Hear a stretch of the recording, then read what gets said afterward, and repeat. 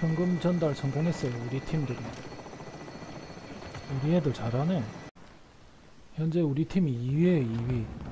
얘 우리 팀인데 돈이 많아가지고 이봐 돈을 막 흘리고 다닌다.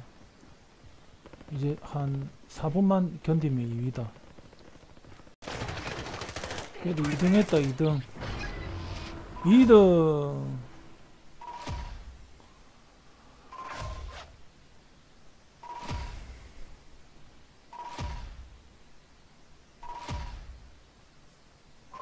처음에 돈을 모아서 비행기에 보낸 게 좀 도움이 돼가지고 나는 돈 얼마 못 모았는데 얘가 돈 엄청 모아가지고 얘 덕분에 2등 했습니다.